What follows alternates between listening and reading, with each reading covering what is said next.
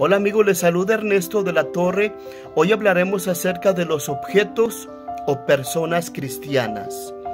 ¿A quienes debemos de llamarle cristiano o cristiana? ¿A las personas o a los objetos?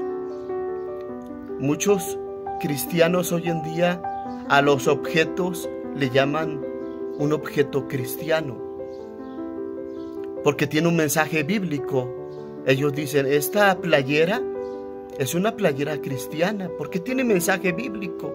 Esta pluma es cristiana, esta revista, este cuaderno es cristiano, no más porque tiene un mensaje bíblico. ¿Es cristiano?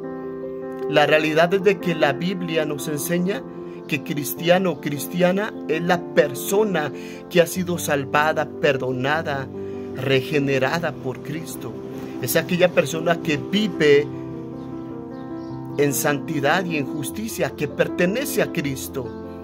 No llamemos cristiano o cristiana a objetos, sino aquellas personas que han entregado su vida a el Salvador. Comparte.